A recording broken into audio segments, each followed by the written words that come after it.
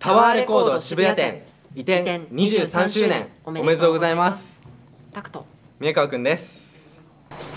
え僕のタワレコ渋谷店との思い出はえ店内でリリースイベントをえさせていただきました。ちょうど1年前ですかね。アルバムを出させていただいた時に歌わせていただきました。僕もあのファーストアルバムをリリースした時にあのタワーレコード渋谷店さんの屋上でリリーベを、はい、させていただいたんですけどもすごい楽しくて、ね、もしよかったらねまたぜひよろしくお願いします。よろしくお願いします。以上タクト。宮川くんでした